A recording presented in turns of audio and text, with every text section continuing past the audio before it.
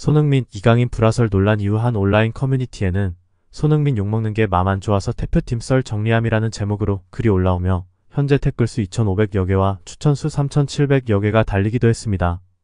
손흥민, 이강인의 불화설에도 대한축구협회는 아무런 대응을 하지 않고 있나 참 무능함의 끝이 어딘지 모르겠습니다. 중재하거나 사실이 아니다 등 언론에 흐르는 걸 막아야 할 협회가 오히려 언론에 공표한 꼴이라니 할 말이 없네요. 진짜.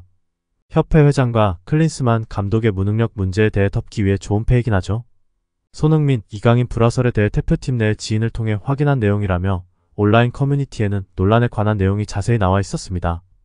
글 작성자에 따르면 먼저 본인 초, 중, 고, 대학, 프로 2부까지 갔으며 대표팀의 지인을 통해 전해 들었다라고 말하였는데요. 대표팀들은 요르단전 전날 저녁을 먹는 중이었고 이중 탁구를 치다 저녁 먹으러 온 인원들이 있었다고 말하며 이들은 저녁을 서둘러 먹고 다시 탁구를 치기 위해 허겁지겁 먹었다고 말하였습니다. 주장인 손흥민은 대표팀 인원들에게 식사 후 간단히 미팅하자고 하며 착석해 있으라고 말하였다고 합니다. 하지만 주장의 말에도 불구하고 탁구 치던 인원들은 무시하고 탁구를 치러 갔다고 합니다. 이후 몇몇 선배들이 빠진 인원이 있어 남아있던 인원들에게 어디 갔냐고 물어보았고 탁구 치러 간 것 같다고 말하였다고 합니다. 선배들은 탁구 치던 인원을 데려오라고 하여 팀 내 막내가 이들을 불러오게 됩니다. 몇몇 선배들이 복귀한 인원들에게 멋들하는 거냐고 말하며 말 못 들었냐고 언성을 높였다고 합니다.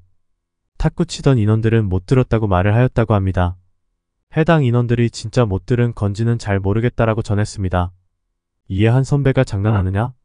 너희들만 못 들었다는 게 말이 되느냐며 여기 앉아있는 사람들은 그럼 뭐냐고 말하였다고 합니다.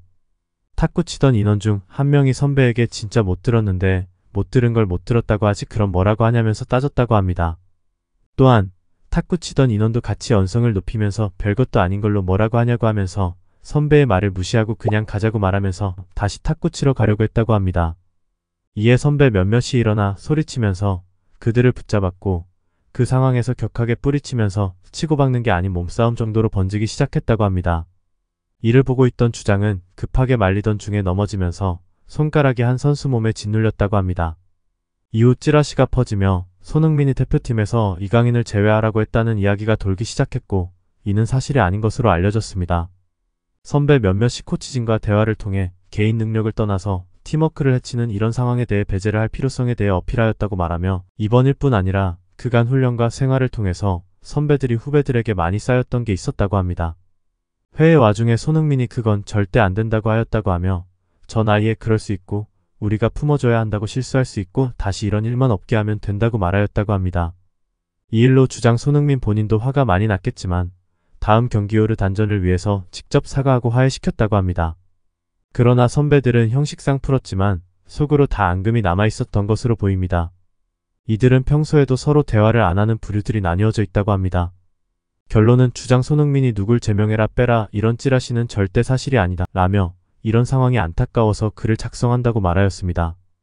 해당 내용의 진실 여부는 당사자들만 알겠지만 글쓴이의 그동안의 글들을 살펴봤을 때 신빙성은 있는 것으로 보입니다. 다 떠나서 이 문제에 대해 협회에서는 어떻게 대책을 세울지 궁금하며 원흉인 정몽규 회장과 클린스만 감독은 앞으로 어떻게 될지 궁금해지네요.